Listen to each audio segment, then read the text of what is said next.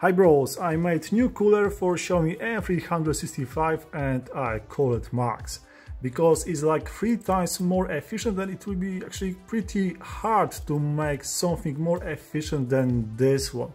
Check this beauty.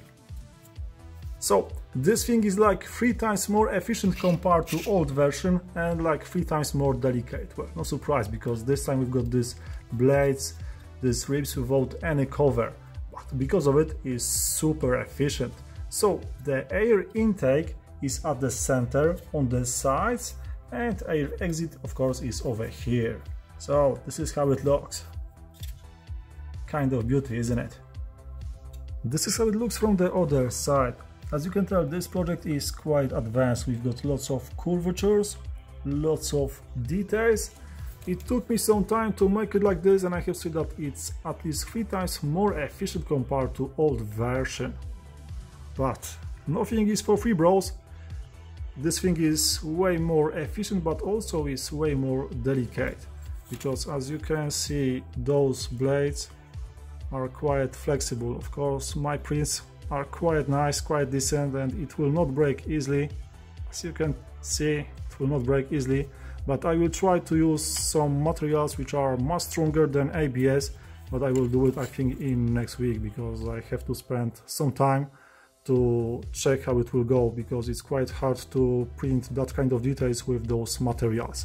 So still this old version is quite rigid, it will survive very long time even if you hit some small rock or something, this thing will work flabless.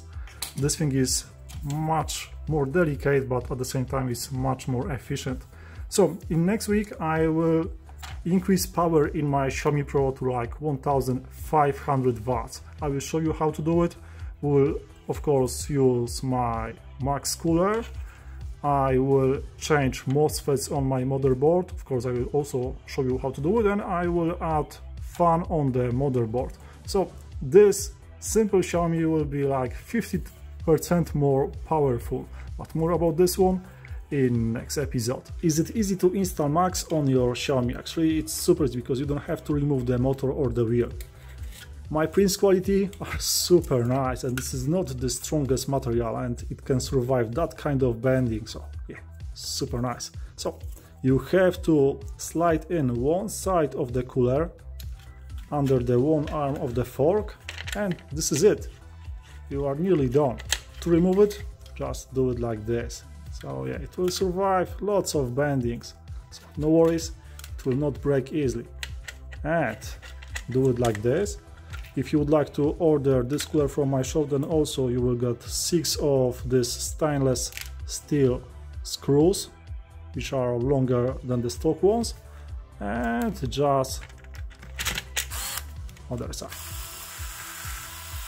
Tight all screws you can use some force but not too much. And it's done actually. Of course I recommend to use some thread locker on the thread on the screw for safety reason because thanks to it the screw will just not unscrew itself. So use it something like this and you can go. This thing is ready to go now. Let's add some throttle And of course, with this new version, you have to be sure that you don't have bended motor shaft, that your motor shaft is straight. Because we've got, as you can see, small gap. Actually, over here we've got like 1.2 millimeters between the cooler and the fork, which is good enough even if your motor shaft is bent a little bit. But for safety reason, before you order this cooler, be sure that your motor shaft is more or less straight.